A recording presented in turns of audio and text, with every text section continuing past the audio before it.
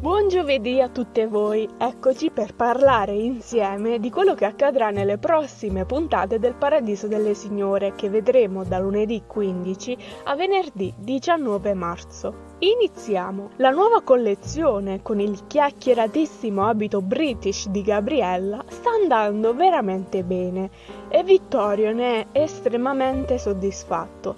Finalmente al Paradiso si può stare un po' più tranquilli.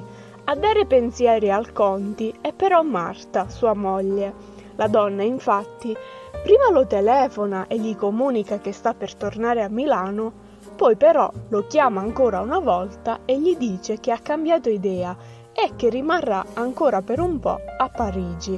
La decisione di Marta rattrista tutti, specialmente Umberto, che sperava di poter riappacificarsi con sua figlia. Con un telegramma Silvia fa sapere che non tornerà più a Milano e che rimarrà a Parigi per sempre. Per questo motivo la zia Ernesta decide che è arrivato il momento di tornare a Lecco e Stefania deve seguirla. La ragazza non prende per nulla bene questa notizia perché non vuole lasciare la sua nuova vita milanese fatta di lavoro e nuove amicizie. Così si trova una soluzione. Stefania andrà a vivere insieme ad Irene, Anna e Maria e potrà rimanere a Milano. Nasce una nuova coppia? Probabilmente sì.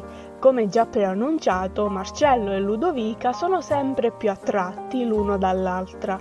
Dopo aver sconfitto il Mantovano, grazie all'aiuto di Dante Romagnoli, i due giovani decidono di non vedersi più ma quando sono lontani non fanno altro che pensarsi a vicenda.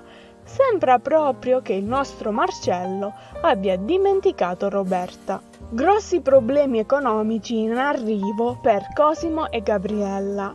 Il Bergamini investe tantissimo denaro in un affare con Umberto, che però sfortunatamente crolla i nostri novelli sposi rischiano seriamente di fare bancarotta e i danni per loro sarebbero grossissimi. Chi si mette nei guai è pure Giuseppe. Proprio ora che la sua famiglia ha iniziato a credere in lui, succede che l'uomo entra a far parte di un giro assolutamente sbagliato solo perché gli viene assicurato che se farà il suo lavoro, tra virgolette, guadagnerà un sacco di soldi. Questo è il passo falso che Giuseppe commette e la conseguenza che rischia è che Agnese, Salvatore e Rocco si allontanino nuovamente da lui, che però potrebbe giovare ad Armando. Chi è davvero Gloria? Nelle prossime puntate lo scopriremo ancora meglio perché Stefania si confiderà con lei